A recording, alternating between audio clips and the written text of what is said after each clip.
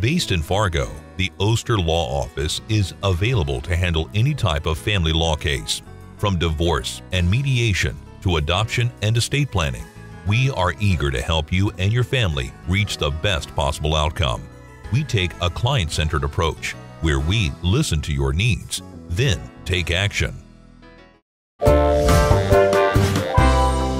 Oster Law Office. Call us or visit our website now.